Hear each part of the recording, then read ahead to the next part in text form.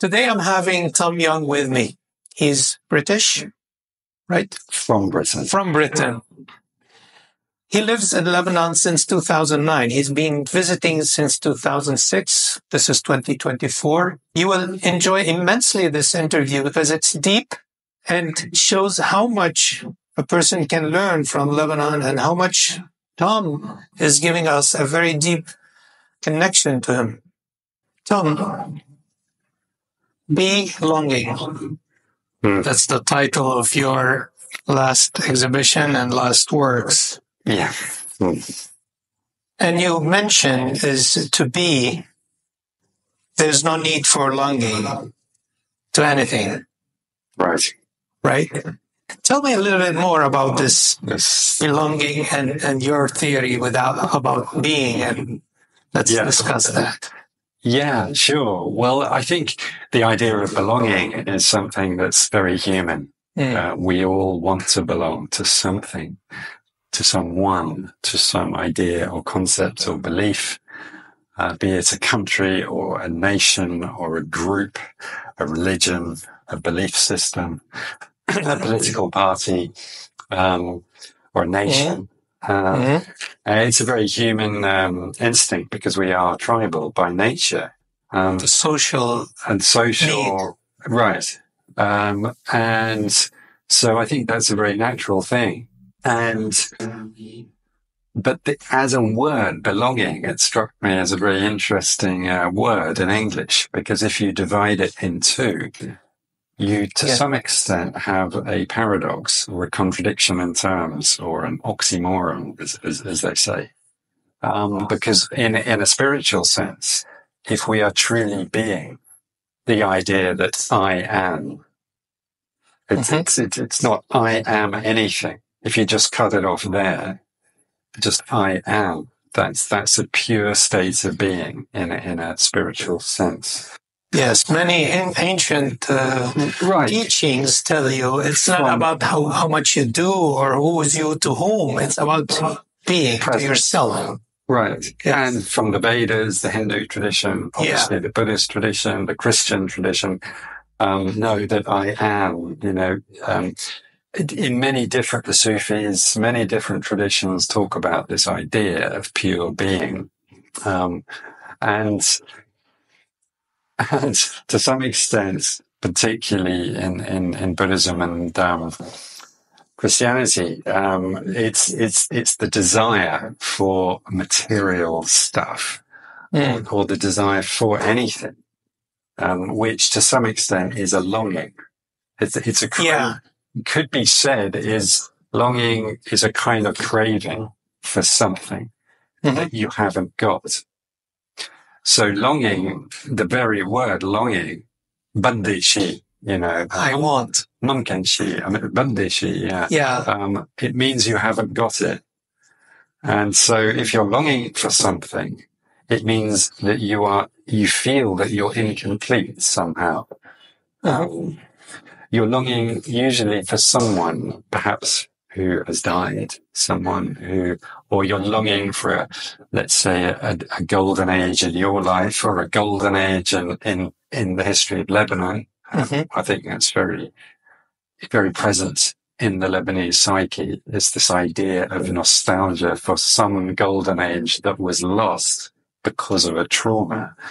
And um, so it's as if we're incomplete beings if we're longing for something.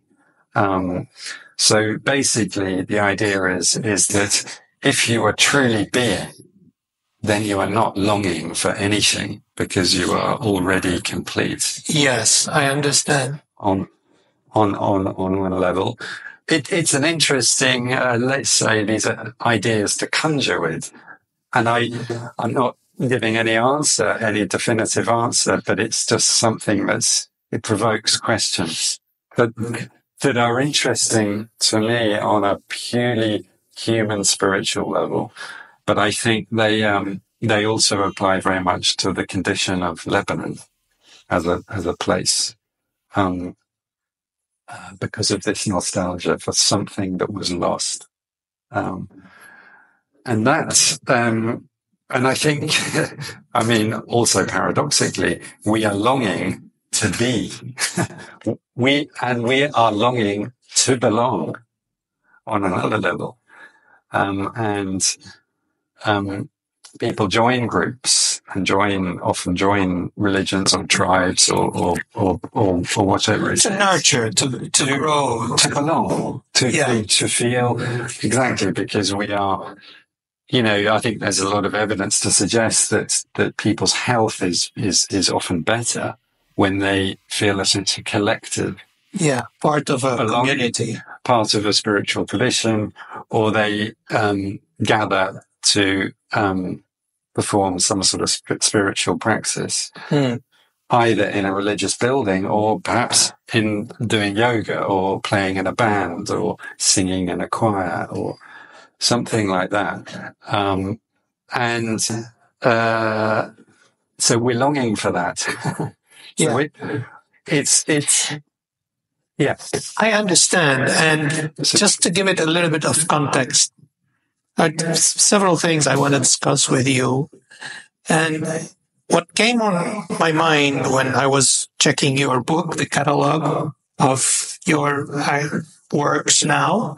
By the way, Tom has a new space starting 2024 and it's an amazing space. It's an old house in Gemmayze and it has all this, these paintings, all the reference to Beirut, to the old Beirut, to the nostalgic Beirut that you're talking about. Mm-hmm. And and the contemporary Beirut. Yes, and, and what's going on and all these things that are happening and the, the, the, what's, what's remaining. and the political crises, Yes. um, past and present. Yeah. Some um, delving into the history of the colonial history, you know, the the rivalry between the British and the French, uh, how Lebanon That- and Before the, the yeah. 1940s, that's yes. After the collapse of the Ottoman Empire.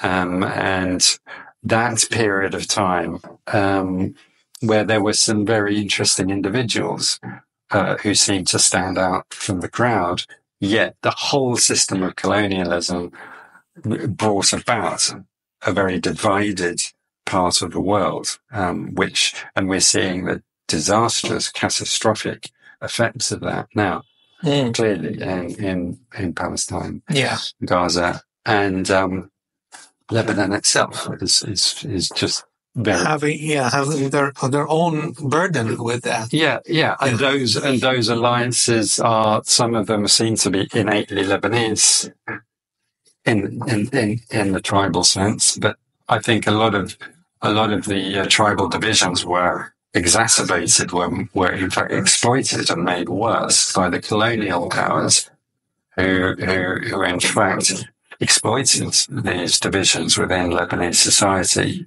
Um, from the Ottoman times, and definitely the French and the British did that.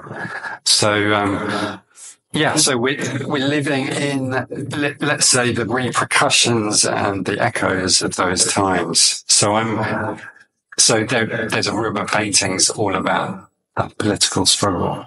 Um, those, those struggles which are past and present. And talking about belonging and longing, a lot of those struggles are about the sense of belonging to a nation or a group. Mm, Lebanese, Palestinian, or, you know, Religious.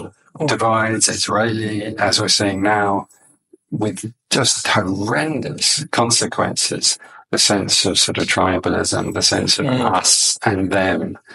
Um, it's so there's that going on, but then there's also the longing for peace. We're longing for justice. We're longing for fairness. And yeah, at the moment in the world, there clearly isn't any, or there's very little. Um, even though, in my opinion, the South African legal team brought a fantastic case to the to the International Court of Justice, which was which was very inspiring. But um, there's there's very little accountability. There's very little justice, it seems, at the moment, and so we're longing for. for Unfortunately, we are um, we are testimonying, you know, we're, we're, we're seeing in front of our eyes things that used to happen in history, unfortunately. And well, there was that famous phrase, history, um, the end of history is, the, the Japanese philosopher who, who, who coined the phrase, which has proved out to be catastrophically wrong. Um, you know, it was, it was seen that the kind of free market economy of the world somehow, and the collapse of communism, you know, that was going to be the end of, of history as we, yeah, as we know it. But, but it's not, it's not at all. It's just human beings, it seems, have a capacity for extreme cruelty and violence and, um, and genocide. Um, when you've, when you've, um, dehumanized the other to such an extent, um, human beings seem to be capable of anything.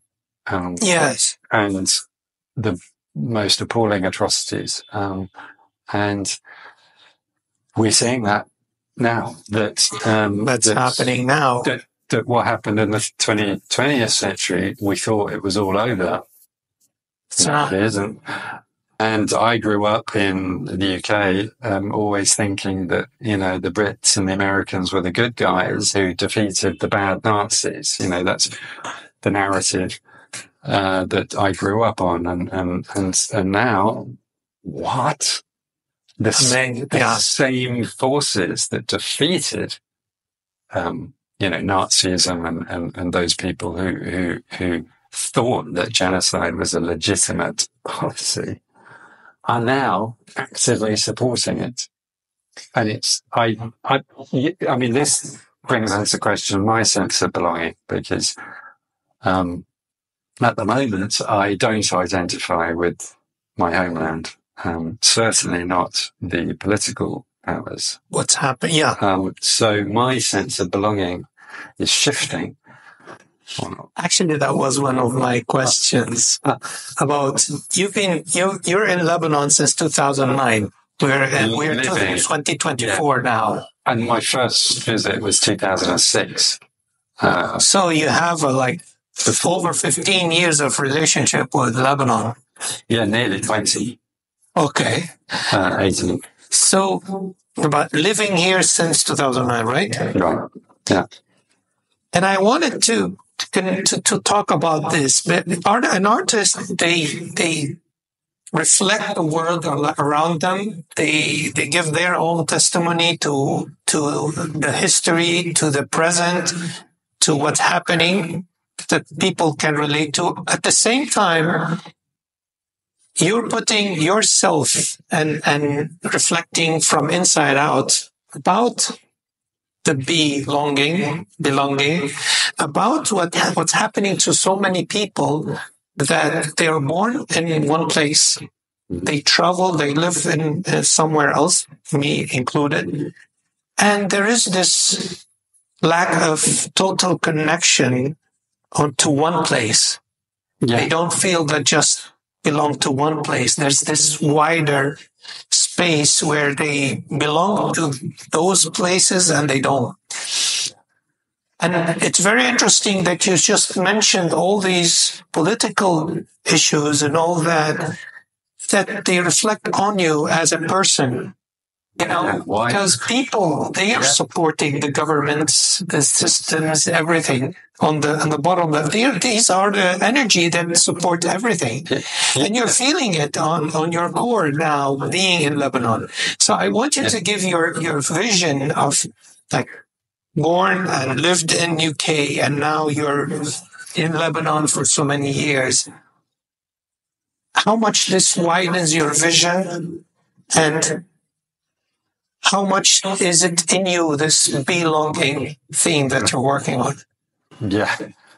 Yes. Yeah. Well, it is. It's the journey of my life. It's the journey of everyone's life. I think probably, um, I'm no, no different, but, um, yeah, I think for me, uh, growing up in the UK, there, there are many elements of growing up in the UK that, that I, that I do identify with, you know, you know, a free health service for, Mhm. for everyone. So the poor have access to free healthcare. That's amazing. London is a, the, probably the most cosmopolitan place ever in the history of humanity, as, as far as we know. Um, these are amazing things about the land that I'm from and, and, and, and the music, you know, it's fantastic music scene. Best rock ever. The rock and roll, the, you Yeah. know, dance music, the, the, So you Every- bring this charge of culture with you. I, I love that. And painting, you know, a lot of my favorite paintings. Second place in the world in, in, And, in uh, art. Shakespeare, Turner, I mean, and lots of contemporary artists, fashion, fashion design, amazing creativity. Mhm. Um, so I, I, I do draw strength from that. And, and there've been some interesting adventurers, or sort of individuals, um, let's say, yeah, I guess you could say, um, I mean, the, the the obvious one in this region is Lawrence of Arabia, who Okay. who, who, who who seem to um, stand apart from the government and Okay. go his own way and identify with the oppression of the other. Um, but he was part of a bigger system, a colonial system. So in the end, he knew he was being used. Um, in Lebanon, there's there's the interesting case of General Spears, who, who also seemed to stand up for the Lebanese cause, quest for independence, and work towards that, and, and go out of his way. And he could also see what a disaster Zionism was going to be for the Palestinians, so he campaigned against the Zionist project, Mm. and he was fired um, for all of these reasons. Um, so in the end, these these individuals maybe tried to do something good, but they're part of a very damaging system, the whole colonial system. Why were they here in the first place? Um, that's maybe the question to ask. Um, but anyway, this that's a complicated subject, and and I yeah, I- it needs another another it's a, it's a whole uh, other podcast altogether. Okay, But it's anyway, those let's say those adventurers who've gone out into the world, um, and from my own family. I mean, my I grew up hearing from my grandmother. She she grew up partly in India. Well, the Mm. British Empire. Yeah. But as an as a young artist, she would leave the British colony and go and meet the local people and and, and draw and paint. okay. So she told me about that. She she she also uh, spent a lot of time in Kenya in Africa, and so I those were inspiring stories. And yeah, so I suppose there, there is an identity there. But these, to some extent, they're all figures who, to some extent, were stood apart from the authoritarian regime. okay. Um, so that that idea, you, you don't have to be, say, British to do that. You could be from anywhere and be an individual who can see the limitations of whatever political authority there may be. Um, and um, anyway, I identify with those inspirations in my life. But at the same time, I um, from an early age, I was interested in history. In fact, my father is is is is a historian now, having been Okay. a judge. He brought me up to, to be very interested in history and explore interesting historical sites and read history. So I was I read I've read a lot about um, you know yeah Britain's role and, in the incredibly damaging role in creating the Middle East um, as we know it, and the really, yeah, some of the very blatantly genocidal policies of the British Empire in, in Kenya in the 50s, and not that long ago, um, in India, Pakistan, the, all the problems that the partition caused, and of course the Balfour Declaration, Sykes-Picot, um, the crushing of the Palestinian um, in 1936 to 39. I mean, utter brutality. Um, and the British, um, there was one um, officer called Wingate who, who even taught the, the Zionist gangs at the time how to use these brutal techniques. And they're still being used today, you know. So I'm, I'm aware of those things and I just don't identify with that behavior at all. Okay. I think it's disgraceful and I think it's um, indefensible. And so to some extent, I, um, part of me has, has sort of moved away from whatever Britain, Great Britain is supposed to be or to stand for. Um, you mean the, the, the, the injustice? I mean the injustice. I mean the complacency. I mean the ignorance. Yes. Um, I mean the complicity. I mean the, the active support for um, brutal genocidal regimes. Uh, mm. We don't need to um, mention. Well, it's it's obvious.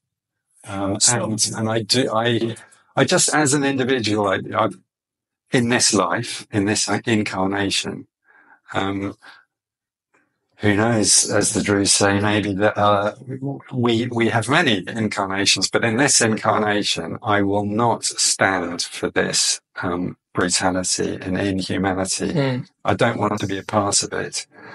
I, I, I personally, um, yeah, living my life in, in such a way that I, I'm, I'm trying and I don't always succeed.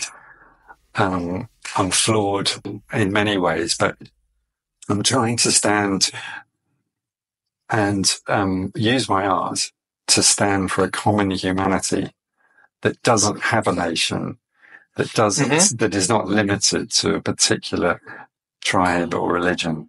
It's, it's, um, it's belonging to the world, essentially. Yeah. It's, it's, uh, um, and that's, I think, surely where we need to go as a species. Humanity, as yeah. We need to move towards we need to a common humanity. Put down the walls, either yeah. political or economical walls that yeah. would give whole privilege to a very small group of people on, on, um, how do you say, on the back of other huge yes. group. Yeah. Yes, you know? that's that's right. So I'm and, interested in um, your vision. So you you you're witnessing all that. You you research the history. You're seeing things from a totally different perspective than people in the West. You call West are are they well, have. I think a lot. It's a much clearer uh, idea being in Lebanon yeah. and having all that around you. Yeah, you have to remove yourself from perhaps where you're from. Yeah. In order to really see the world clearly. And, and maybe Lebanon for me is, is this incredible part of the world where different cultures come together, the East, the West, you know, it's the meeting yes. point of, it's, it's, it's an, yeah, it's a cliche to say, but it's true. Um, and, where the say the Western world, the sort of liberal, uh, agnostic Christian Europe, and the sort of Islamic East, and then you have influences from Africa, you have influences from the North coming down. Um, you have it's it's it's um, it seems to be a, a, a genuinely kind of global place, uh, a yeah. place where the tectonic plates, the sort of geopolitical forces of the world all meet. Um, really unlike any other that I've ever been to. And, and I mean, unique, unique structure, unique it, culture, unique political system. It's, well, completely. It has all this influence. At the same time, there is a very strong historical, cultural heritage here. Oh, yeah. I mean, many different heritages. Um, yes. You know, obviously, well, in a very small space, you have such a different culture. Mm. It's, you know, they, they, you know, different places and different, let's say, tribes. They live next to each other and they live totally different life. You know, they, they, right. they're in a different time. Yeah. Absolutely. I mean, I, I have a, a, a long running exhibition on in Saida at the moment in the souk, which yes. is only 45 minutes drive from where we are in Gemmayze. I visited that, yeah. And it seems like a different planet. Um, and so this thing about, um, and that's fascinating to, to, to work in these different communities for me. Um, and maybe I, I, and surely I have an advantage being an outsider because I'm not judged by my family name. You know, yeah. ah, you're, you're Maronite, you're, you're Druze, you're Orthodoxy or Shia, whatever it is. Um, so I don't have that. I'm, I'm just the Ajnabi. And then Yes. in Lebanon, that is a, that's an advantage. And also I'm the right kind of Ajnabi. Let's, let's, let's be clear. I'm, I'm white and European. If I was Sri Lankan, no, No, it yeah. work. So I'm, I'm, I'm aware of that. Um, I'm not always very comfortable with that. Um, but, um, but there it is. I'm, I couldn't be in any other skin but the one that I'm in.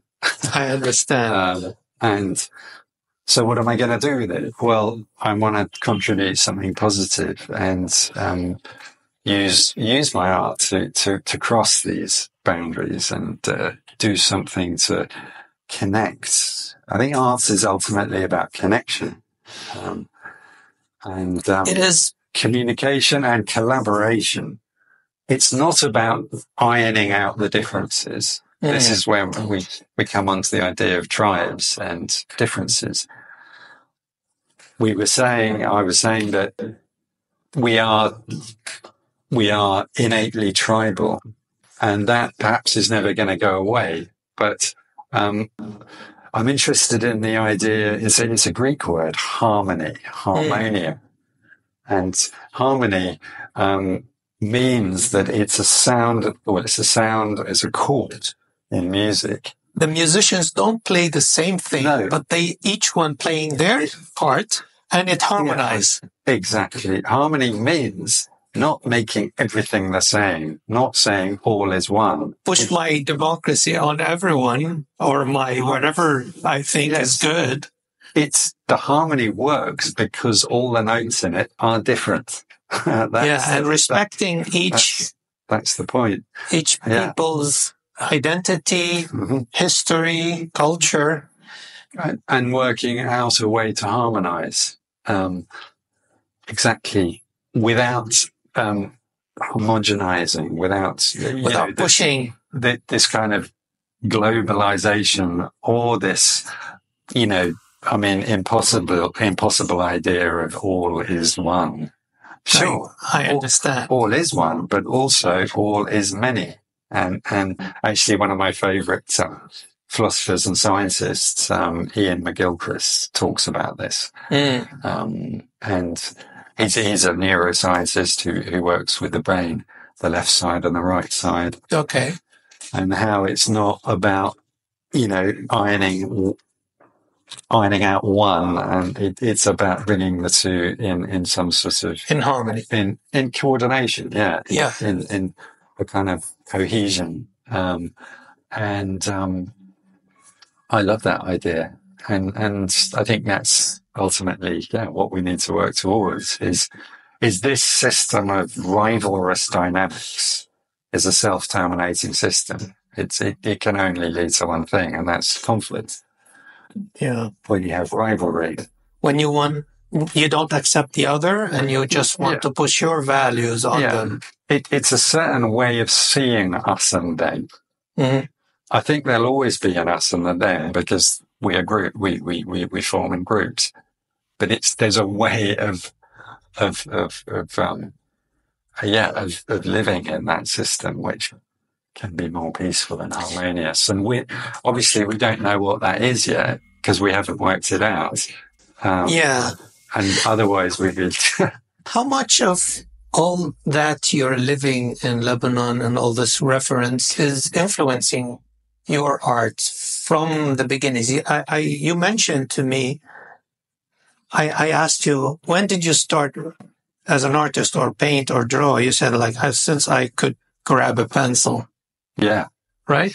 yeah, sure. At the same time, an artist, in in essence, they grow with their art, and their art reflects their growth and their their relationship to the place they are, to the culture they're exposed to. And you've mentioned all this connection to Lebanon, to the Middle East, and the disconnection with all this very um, classifying in the box or um, generalizing way of seeing the world. You got out of it Yeah. and you're in Lebanon and you can have this connection with Lebanon being an outsider at the same time merging Mm.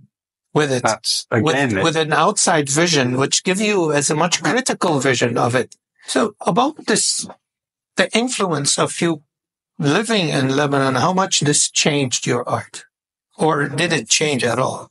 Oh yeah, it changed a lot.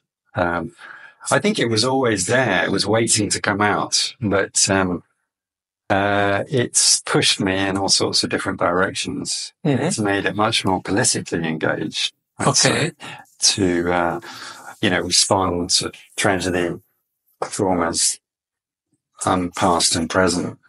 Um, and I think before I was living in London, painting a lot in on the River Thames, uh, cityscapes of, of, of London, which is a fascinating city architecturally.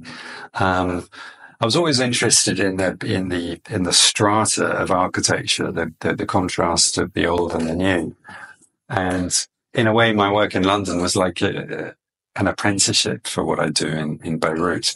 Um, Okay. but I was painting a lot in the south of France and Italy and Spain and um, some in America, but also places like India and Morocco. You've been Um, there painting? Yeah, Nice.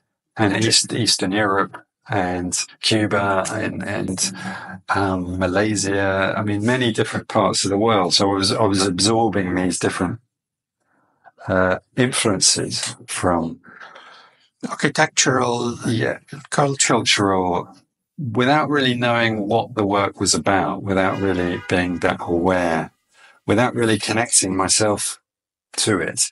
Mhm. And I think uh, certainly when I came to Lebanon to do originally to do paintings, landscapes for a Lebanese guy in London who was my car mechanic, who wanted paintings of his homeland because he was Oh. he was longing. This is how it started? 2006. So he he was longing for his homeland. So that's my my my the you know my work began with a sense of longing for something. So the reason you came to Lebanon is to paint? landscapes for a Lebanese guy in London. Okay. Interesting. Yeah. So I was doing commissions around the world on that basis. Hmm. You know, going being sent to places to paint for people who loved those places. Okay. because they identified with those places, so they wanted paintings of them. You see, so my work, I guess, has always been about the identification of of oneself with a place. Hmm. Interesting that. Yeah. And I studied architecture at university, so um, my my very training was about the atmosphere and structure of places how the places feel, why are places designed the way they are. And um, anyway, that's a whole other From what. I see in in your testimonial, in your in the catalog, and and from the paintings, it's not just architectural paintings of the space of the place. No. It's it's say it yourself. Yeah, well, they, they're, they're paintings are about stories. Yeah. and maybe you know stories which which are there to be uncovered Yeah. uh, which are I, I I guess I try to suggest and, and evoke different memories, different stories, perhaps spirits that I feel when I'm painting in a place, you know, such as the one behind me in, in Sofar in the great casino yeah. the first and, and, and only casino in the Middle East for, for many decades, uh, built in 18, the 1890s, uh, was once a great, you know, destination for the rich and famous until it became ruined in, in, the, in the civil war in Lebanon. So I spent, for example, many months painting in the hotel itself and feeling. It's the Surso one. Right? Yeah, it was built by the Sursock family. Yeah. Yes. I pass by when I come go to the, to the to the village and come back. It's in ruins now, Yeah. and Right. they used to go up by train. Yes. There was a train station there. There's in that painting there. There's there, there it Yeah. is on the Well, left. we'll show the painting, and it's Right. amazing. You- You're mentioning you went and I could feel it's about opening up yourself to a place, you know, in a, in a spiritual sense, getting out of your own way so that you can be a channel for uh, these memories to come through. Um, and that's, uh, I'm fascinated by that process. Um, being a, because we, you know, we're like filters for what Carl Jung called the collective unconscious, the, the, the you know, the, the, you know, we're, we're like kind of, you know, um, transmitters. I, I, I think, um, that's my feeling anyway. Um, so yeah, it's, it's in a place like that, or the Holiday Inn, for example, this, this, um, place here, which, you know, is the iconic symbol of the Civil War, still covered with bullets and, and uh, derelict and empty, occupied by the Lebanese army. But I'm, I'm going to say, elaborate a bit on, on why these places mean a lot to me.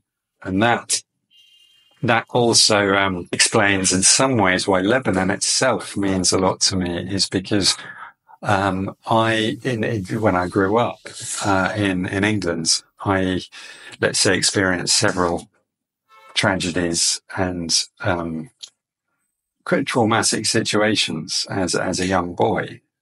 And so, um, me and my mother died when I was 10. She took her own life. Okay. I've sent away to a boarding school in a big old building. Very sorry. Big old mansion. I grew up in, a, you know, beautiful but large old stone buildings. Mm. So there was a sense of loss and abandonment and tragedy that I uh, grew up with. And I think when I when I came to Lebanon, um, the place resonated with me because everyone here has been through some sort of tragedy or dislocation or or um, dispossession of property, or they've had to suddenly leave because of the war, or there was something about the, the common experience of everyone here that resonated with me. Um, mm. And so I guess I felt more whole here, more understood. I felt I understood people on some level and they understood me uh, on some different from the experience in, yes. in, in England. Whereas in England, I felt um, more isolated. Um, okay, and so that's a lovely experience to be understood, to feel attuned to your environment. Um, and resonance, what is resonance? Well, it's a, it's a, it's, it's, it's when two vibrations vibrate at the same frequency. And they amplify each other. Yeah. And they, they sort of fit and yes. they, they, they work. So I think that's something about Lebanon that, um, attracts me and why I came alive here as an artist. So it was like I sort of woke up basically and depending on your experience, people, you know, um, come come alive in all sorts of places. I mean, India is is, a, is famously a place where people go to and, and have extraordinary revelations. And, yeah. And um, well, I, I mean, I, I did too, and in some ways in, in India. Um, but um, for me, yeah, Lebanon really was the most resonant place for me. Yes. And out of the whole world that you've, you know, traveled all around, you actually answered the question by before asking it, where would you live? And you're living in Lebanon. Yeah. Despite all the mess that we go through here of, of the basic, wow. basic services. Basic. Well, but yes. at the same time, you're here. Right.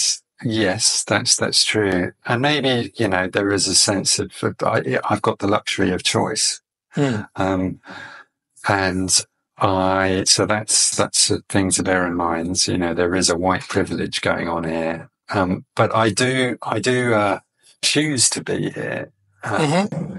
despite yeah all of the crises. Um, maybe because also I can earn a good living here, a fairly comfortable living as an artist because the place resonates with me, I paint better pictures. Mm. Because I paint better pictures, you could say I sell more. because I don't paint the pictures primarily to sell them. Because you feel connected. Because it's about feeling. Paradoxically, those are the paintings that sell. This is the this is the strange thing about being an artist, but um, and so yes, so it works for me more or less economically, even though I lost a huge amount of money and, and savings in the crash here. But that's part of being here. Welcome I, to the I, club. I, had, I had my house smashed up in the explosion. I had Also- my studio, I had my paintings ripped in the port explosion. I, I've lost, you know, lots of savings in the crash. Uh, so Yes. yeah, it's not easy, but it's good enough. Uh, it's it's certain- colorful. It's, it's challenging. It's inspiring.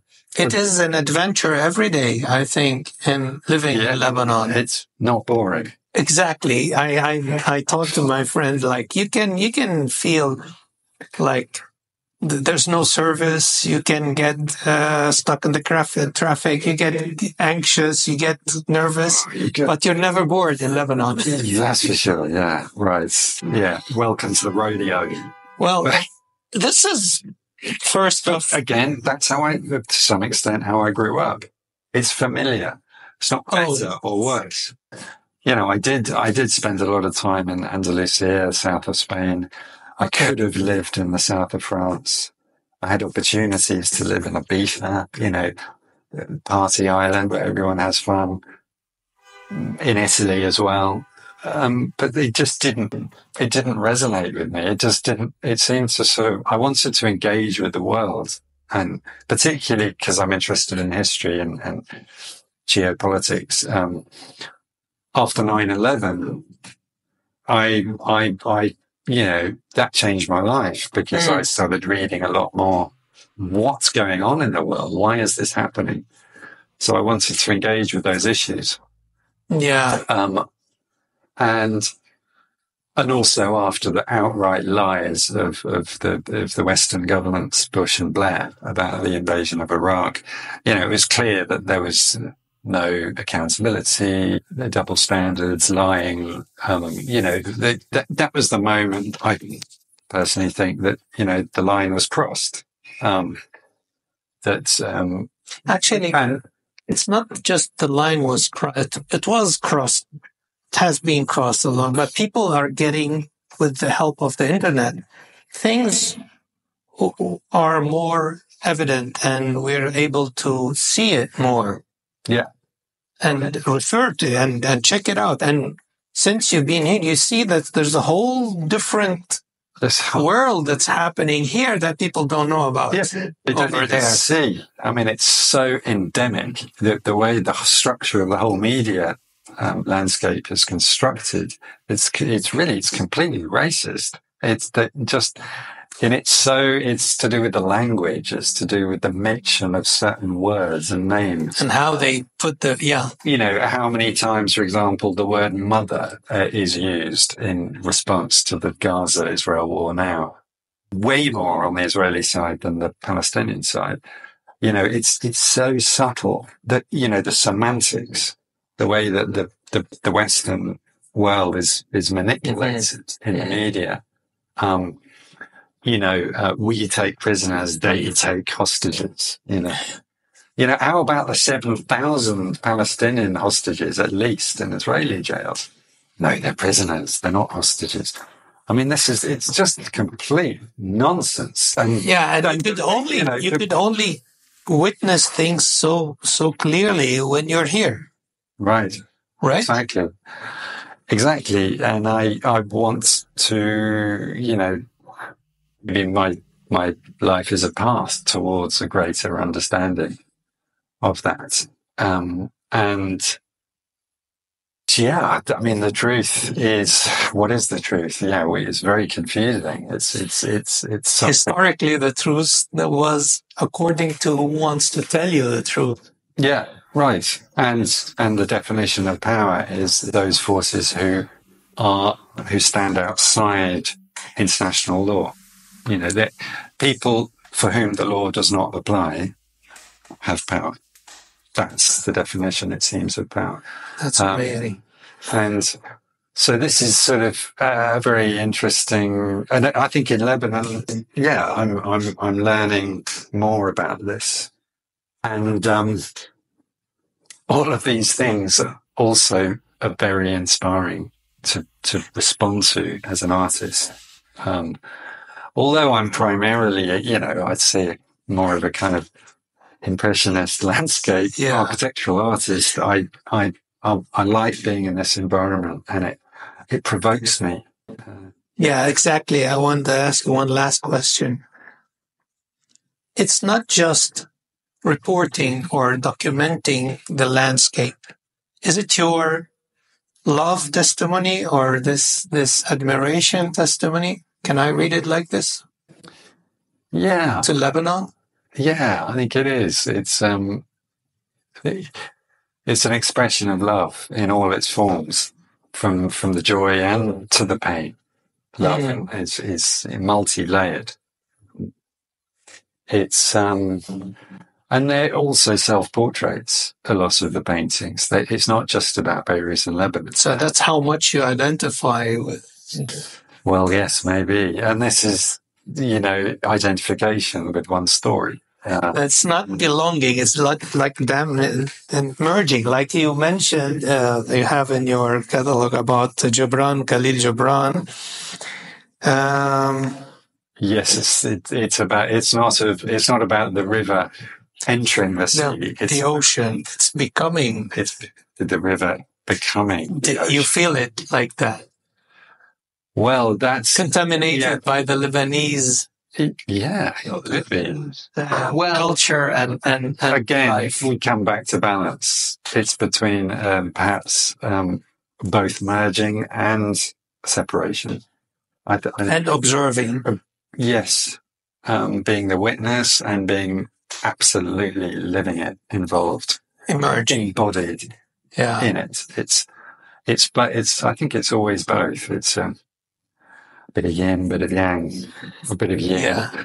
or yin and yang. Oh, That's an amazing combination. It's interesting because it does give a totally different perspective from someone being totally detached or someone so emerged that they can't see it as clear. So this is a very good, in my opinion, is a very good combination of being able to, to, you know, merge into what's going on, what is it, and at the same time to give it this outsider, insider, mid Yeah.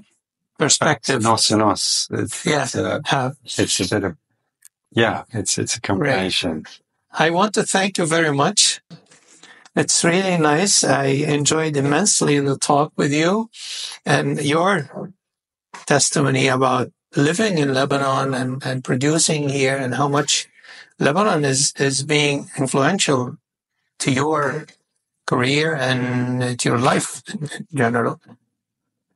And uh, this is uh, the first, and I hope the first of many Yes. talks that we will have, and uh, we'll come back and talk about certain things that since you love history and your father was a historian, we can talk about certain subjects, certain certain things, certain movements, certain uh, Yeah. many things to talk about um in the history of art and and the geopolitical craziness that we live. Sure. That, that will be a Tom, pleasure. thank you very much. I'm honored to have you with me here in this interview. Thanks a lot. Thank you, Elio. Thank you. Cheers.